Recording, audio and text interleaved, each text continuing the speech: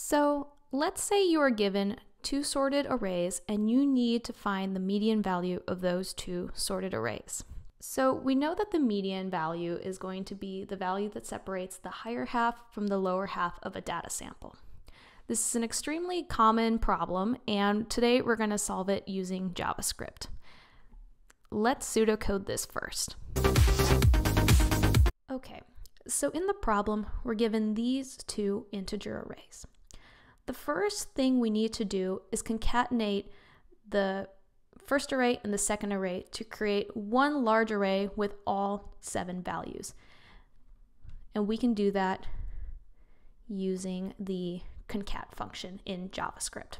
So now we are going to have a new array that's going to look like this.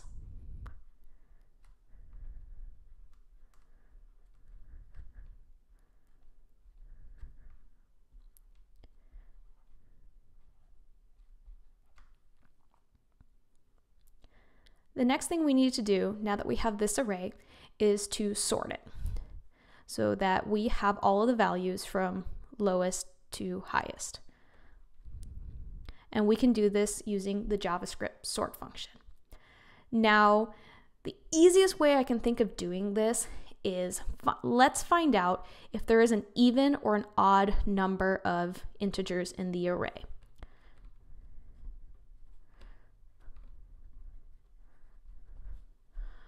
Once we know this, we can find our median value because if we have an odd number of integers in the array, which we do right now, we know that the median is going to be the middle value, the value separating the lowest, the lower uh, integers from the higher integers. And if we have an even number, we need to take the number separating the lower, sorry, the two numbers separating the lower half and the upper half, and find uh, get the middle value between them. So, for example, if we have an array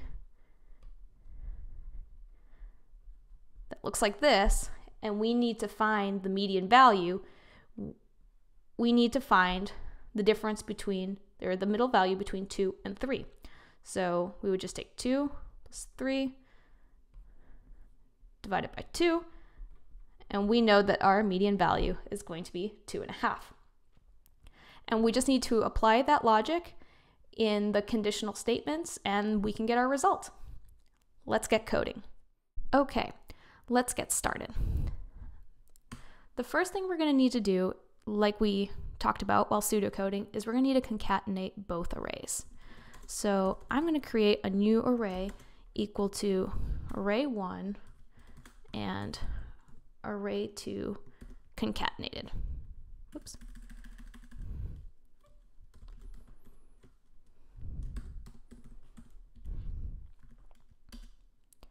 And now we need to sort this array. And we're going to just do this really simply using the JavaScript sort function. And this will make sure that we're sorting it based on uh, the values inside of the arrays. And for simplicity's sake, let's console log this out. So we can see our concatenated sorted array.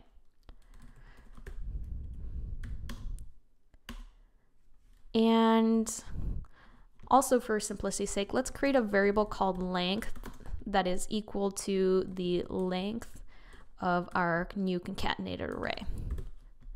So this is where we need to determine, is this a, an, uh, an array with an odd number or an even number of integers? Because that's going to determine how we move forward.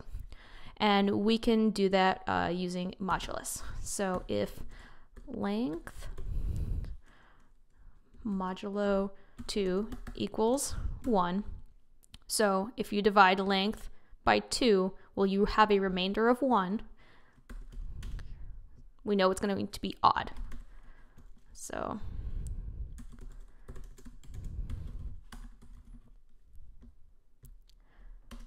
So now we know we need to take, we need to find what the uh, median uh, place is, and we can grab our median value from there. So we're going to return concat. We take length divided by 2 minus 0.5. So if we have our concatenated array, which is going to have seven integers, we know that 7 divided by 2 is 3.5. 3.5 minus 5.5 is 3. So we know that in position 3, so the fourth number, is going to be the middle value. And for simplicity's sake, let's console this out.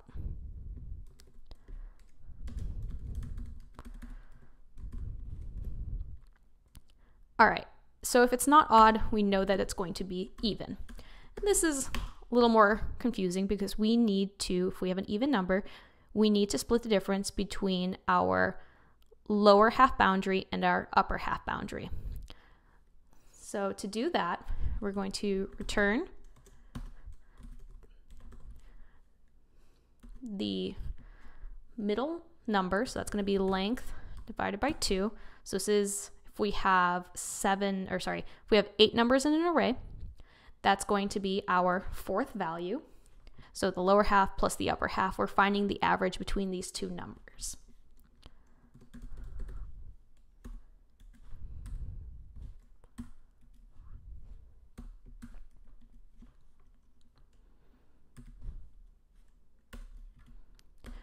Okay, so this is going to, this is the upper half, or sorry, the upper boundary. This is the lower boundary. We're going to divide it by 2 to get the average. And let's also print this out. And let's save that. Let's double check and make sure didn't make any mistakes. And let's check to make sure it works.